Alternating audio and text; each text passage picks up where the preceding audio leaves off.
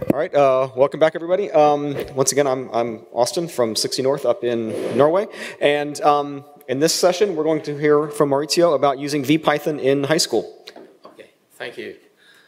So welcome, everyone. VPython goes to school and uh, 3D for ordinary mortals or students. And uh, this is our, our plan for today. For now, introduction. So, who am I? I uh, I'm a teacher. I teach in high school, I teach also in primary school and middle school. I'm also a Scratch Day organizer and I'm a uh, Dojo mentor too. So, who am I not? I'm not a guru of Python or a czar, czar of a Python. Who are you? Or uh, someone of you are a teacher, is a teacher? Okay, that's nice. Um, someone of you uh, already knows uh, VPython? Okay. So, uh, I want to talk about computational thinking, computational modeling, and educational programming. With VPython. So uh, I want to show you uh, some codes. Um, the subtopic, uh, the aim is to teach how to become, to, to be and to become smart, hard to use intelligence. So here, I want to start from the etymology of this word. Intelligence uh, is from Latin, intus legere, intelligere. So we have something that we, uh, we have many things and we have to collect them together. And also we have to read between the lines. This is a something, something deep. So we want to uh, teach, I want to teach to be, to be intelligent in this sense, deep uh, my educational ratio of my talk, uh, of my work too, is to find tools and pathways to introduce how to think and code, how to think like computer scientist, but how to think like a human being, uh, primary in secondary school. So uh, we have some general actions. Coding is difficult we still don't have the best language for everyone. Uh, I don't want to be heretical here at the Python conference, but I don't think that there is a, a preferred language for everyone. I prefer Python, and I use it at school since uh, uh, 2006. But I think that every mind, every pupil has his, his own way to learning. So we still don't have the best method, pedagogy, for everyone. So we have constructivism, we have behavioral process, we have many things in this uh, field, in this area, um, pedagogy. But I don't think we have the right solution for everyone. We have many ways, many uh, methods. So, VPython, presentation. Um, VPython is uh, 14 years old and uh, was made by David Scherer and uh, is, a, um, is a package, the package name uh, Visual, and uh, it allows us to uh, add 3D graphics to Python in a simple way. This is the reason why I use it uh, in school. So it's easy to create uh, navig navigable 3D displays and animations. So where do we start? We start from the VPython main site. Uh, so uh, you see that the subtitle is 3D programming for ordinary mortals. And uh, for me, it's uh, for ordinary students, normal students. Setting up uh, the environment is very easy. You need Python, then you need this package, this package of VPython, and then we, uh, we need uh, an editor, an IDE. We have also, uh, in the project of VPython, there is also uh, VIDLE, an alternative to IDLE, which fixes some significant problems uh, with uh, using uh, visual, the visual package in uh, Python. But we can use, for example, I use in this presentation Spyder, or we can use PyCharm, another IDE. It's not so important. So now, I want to show you uh, just this code from visual import star, import home, sphere. So this is our our first project. So I need, it's uh, something we can navigate through, we can uh, pan, we can zoom or rotate. Um, and it's, uh, for me, it's very interesting because uh, with two lines of code and with uh, almost, almost no magic, no, no magic at all, but uh, we here don't, don't have many, many um, strange things uh, for, uh, for students.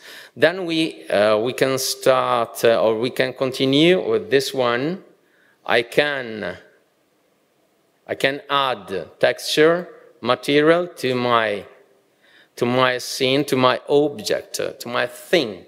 So I think we can uh, talk about objects, but maybe objects, uh, object is a, a word for uh, programmers. So maybe it's better uh, at start to talk about things. So uh, we have a sphere, and uh, we can we can add a material to the sphere. Then we can continue our presentation.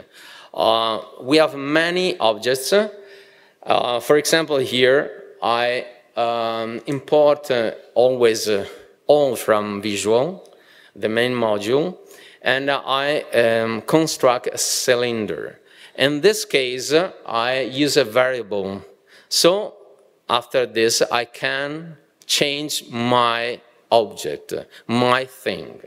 Uh, here I have many uh, attributes, for example, position, axis, and radius. Then I, I can uh, ask I, I, can ask the object for the values of these attributes or I can change them. So here I want to show you just this one. Uh, in this case, I use also scene because uh, we are in this uh, 3D uh, environment. So I, uh, I use scene width and scene height to do this. And this is a also an important result. Not so difficult, but um, a little impressive. Just here. So, a Python way to, uh, to teach or to learn. Uh, we start from an empty scene, then we use uh, a single object, then we make we make uh, we do an object composition, many objects. Then we continue this process on constructing a static virtual reality modeling. Then we can do dynamic simulation. So uh, there are also three parts uh, group uh, in the mm, in the VPython terminology. There are frames. I can group uh, objects together, and then I can uh, I can uh, use them like a single object, like in many many other programs. Then we can catch events. So in this way, I can construct more complex animations and simulations. And this is my dream. I want to uh, construct with uh, my students games with VPython. So uh, here we have uh, um, 18 types of uh, primary objects that we can use. We have uh, simple objects and more com complicated and complex objects, sphere, text, pyramid, points, slides, label, and so on. So here I can continue. Uh, here we have a composition. Uh, here I use the for loop. So this is a, uh, an important point because here uh, I continue the lesson from sequence. I go to the for loop. So I go to the loop, the second structure of the programming uh, structure. So here, for example, I made I made 10, 10 sphere. Is uh, not so complicated because I change only the x position of the sphere. So it's a loop, uh, 10 times, repeated 10 times, and I create, and I create in this loop 10 sphere. If I want to uh, change this, I have to, I had to uh, give them a name. But in this case, is not necessary. So here, uh, a little more complicated, uh, complicated scene. In this case, I use uh, um, a more complex uh, primary object of VPython. Uh, and so I use the arrow object. And in this case, uh, I have a very interesting connection with trigonometry. So I use um, the function we we find in the math uh, library, like, uh, yes, the pi uh, value and the cosine and sine functions.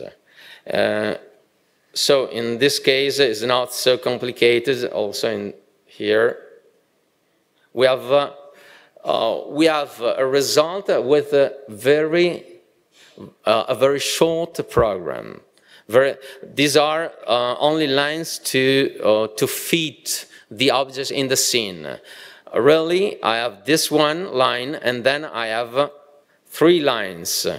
If I, for example, if I cut, if I cut this, I can, oh, sorry. Uh, I have to close this one before. I have always the result. I continue to have the result only with four lines of code. And these, line are, these lines are not so magic. Um, the pupils, the students, can, can understand the meaning of this. Now, continue. Oh, sorry. Here, composition and rate, this is important. In this case, I, I have a, an animation. I just put this line here, this line. So rate, rate for, in a second, I repeat the loop at maximum four times. So in this case, I have not the result of the um, of my word, but I have the animation in my word. So here I have the movement. I have the movement. Uh, really, it's not. Uh, it seems a, movement, but uh, I create many objects. So it's not an object that moves, but there are many objects created in times. Yeah You wrote this uh, code when you uh, taught the, your, your students uh, trigonometry? No. It's disconnected. Okay. Uh, the question was about uh, if I um, if I teach this uh, uh when I teach trigonometry. Uh, really, I teach computer science. I don't teach mathematics. So I try to have a connection with the uh, with my colleagues of mathematics, but it's not so easy because the programs are very different, differentiated. So. you assume that the students know what is sinus, cosinus, and all that. Yeah, normally I assume they uh, already know this meaning. Or I can, uh, I can say you will see the right meaning in the math course. It depends, it depends. But normally, I assume they already know the meaning. So, uh, this is another interesting uh, feature uh, we have in visual. In the visual, we have another module, graph, and we can uh, we can graph uh, functions. So here we are not in the 3D words, but world, but in the 2D words, but, and this is another interesting connection with math. So I can show you here this. And for example, I can, I can add here uh, rate, for example, on 10, I, th I think. So I have the, the function of the movement of the function because uh, uh, without rate of the final result. And this way, the result is constructed. So, interdisciplinarity.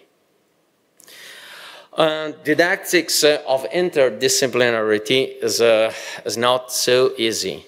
Uh, it's a cultural, cultural approach.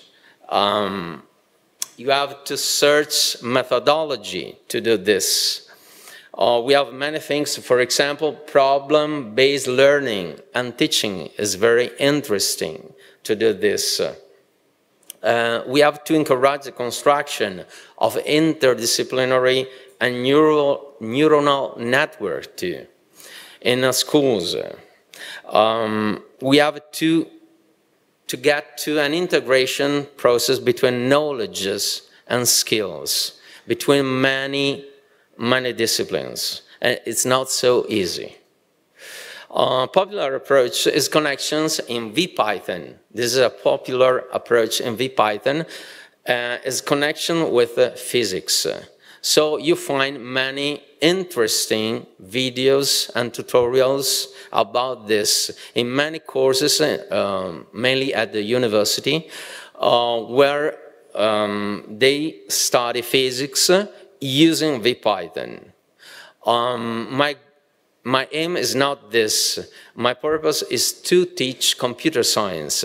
So it's a little different from mm, many approaches, from this approach. Um, a more basic approach for high school is for me that I have connections before with math and geometry. Then I can have approach with physics, chemistry, astronomy, and also computational linguistics. If I have time, I want to show you an example of this. Math concepts, Cartesian coordinate system, trigonometry, scalar, and vector values. This is very um, interesting, very important. Uh, we have a 3D modeling concepts. Uh, there are so many camera, lights, and shadow, coordinate axis, background in a 3D world, texture like before, uh, objects, uh, groups of objects. Uh, the, I told you uh, the right term is a frame in VPython. Uh, we have also connection with philosophy, for example, time and space. Uh, but this is another, another talk. So, educational testing, Python plus VPython. My educational context is this one. Uh, in a math and science-based high school with only two hours per week. Uh, so um, I believe in learning process, but products and results are also important. So this is a virtual reality model.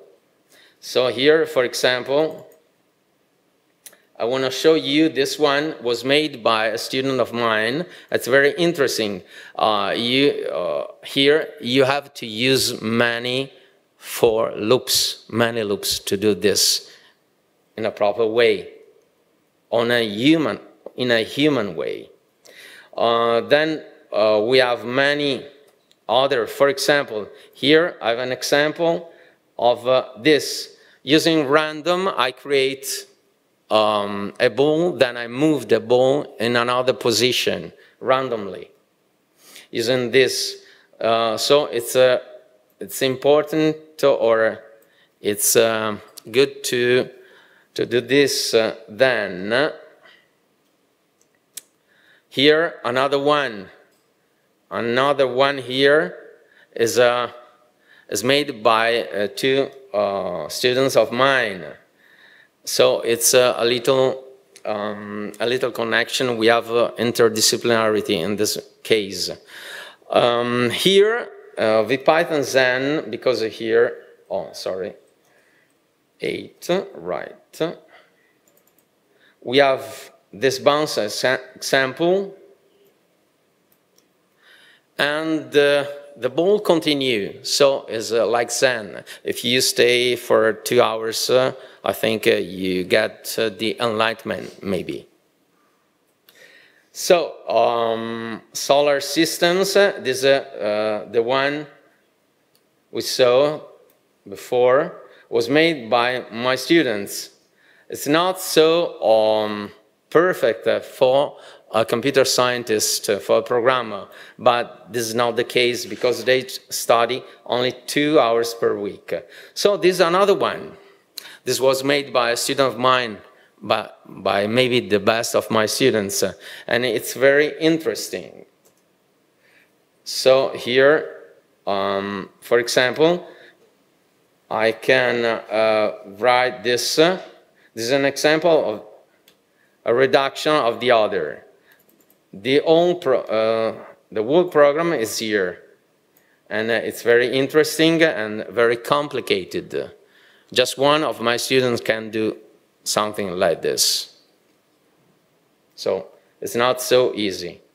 Um, another part, this is a real school test uh, instruction. They have to find the, uh, the vowels uh, frequency in, uh, in a uh, in this poem, this is a real, uh, a real beautiful poem. So they have to find um, the frequency, frequencies of the vowels, and this is a computational uh, statistical method to determine if a, uh, a poem is, for example, in Italian or in English. And they had to um, represent with, with, with VPython the results. So uh, in this case, I show you the color version of them, and uh, it's not so uh, it's not so um, so long. It's not so easy. It's not so easy for them. But the solution is a uh, mm, yeah, uh, they can get to the solution. So VPython is School in the future. Uh, group frame. Just one student, I told you, just one student of mine can do the animation we, see, we saw before. I, I wanted to get to events and then to them. For example, here, here uh, I show you this one, the last one. I have a box, and when I click, I create a sphere with these lines of code. So it's very, uh, it's very easy to understand, to write this code and to understand it. So uh, here are some results. Uh, another strong point uh, for, uh, of VPython is documentation. A really nice, nice and well documentation.